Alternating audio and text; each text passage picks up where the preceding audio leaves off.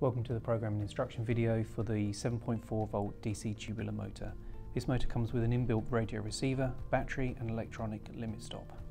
To connect or sync the transmitter to the motor, first press the prog button on the motor. This will wake the motor up from standby mode and you'll be presented with a bleep. Press the prog button once more and then pressing up on the transmitter, the motor will shunt once more to confirm the action. In the event that you need to change the direction of travel, press and hold the stop button on the transmitter for 5 seconds. The motor will shunt once and then press down on the transmitter. The motor will shunt once again to confirm the action.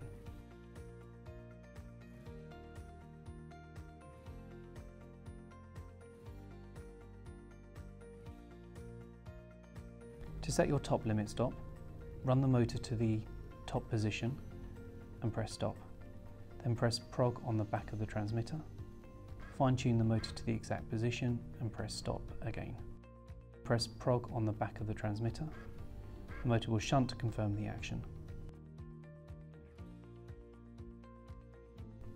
You've now set the top limit stop.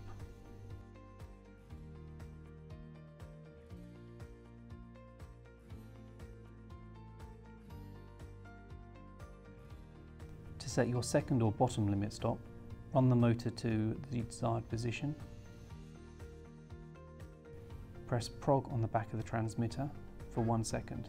The motor will shunt. Press the prog button on the back of the transmitter once more. The motor will shunt to confirm the action.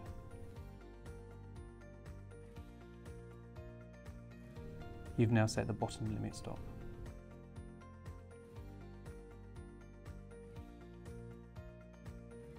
To set an other or middle limit stop, run the motor to the desired position and press stop. Press prog on the back of the transmitter for one second, the motor will shunt, and then press prog once more and the motor will shunt one final time to confirm the action.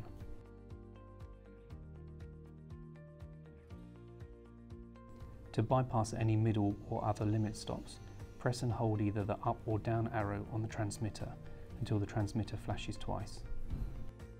To delete a limit stop, run the motor to the limit stop you wish to delete, press and hold the prog button for 5 seconds.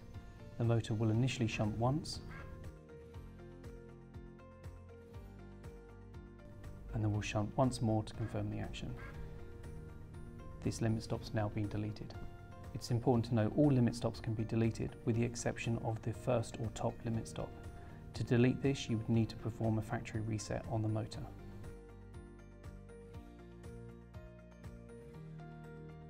To perform a factory restart, press and hold the stop button on the transmitter for 5 seconds.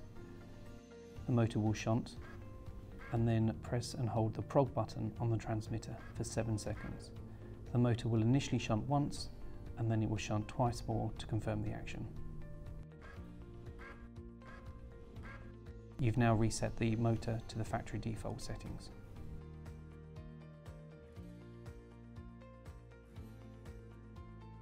Thank you for watching. For any more information, please don't hesitate to get in touch. Either call us on 01268 570 900 or drop us an email to inquiries at yewdale.co.uk.